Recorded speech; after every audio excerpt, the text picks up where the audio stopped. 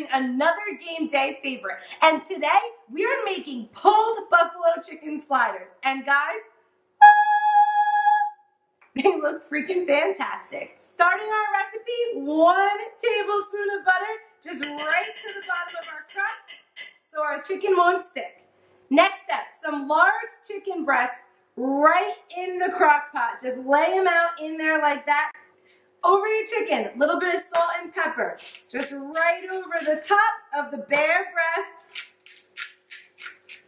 And then we're gonna go ahead and do the same with a little bit of granulated garlic and some celery salt. Next, one Hidden Valley Ranch packet right over the top of your chicken. The whole packet. In we go.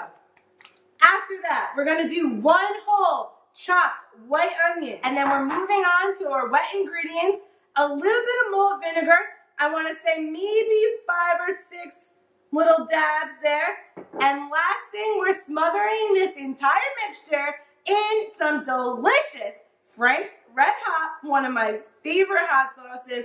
It's just so good, simple and awesome. And we're going right over the top. And yes, we are using the entire bottle. Once all of our ingredients are in, remember you're handling raw chicken, so make sure that you're sanitary. This is gonna take a little bit of time in your crock pot, low heat for about five to six hours covered. But there's a lot of football on during the day. There's some other things to do, so I'm sure you'll find something to keep you busy while this smells delicious. So we are covering it, cooking on low five to six hours until it is that nice consistency where it shreds apart and we're gonna put that on our roll for our sliders.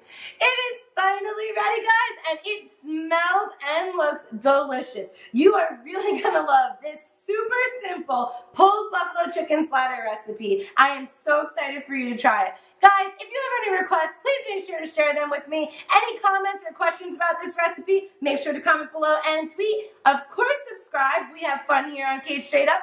And uh, other than that, guys, until next time,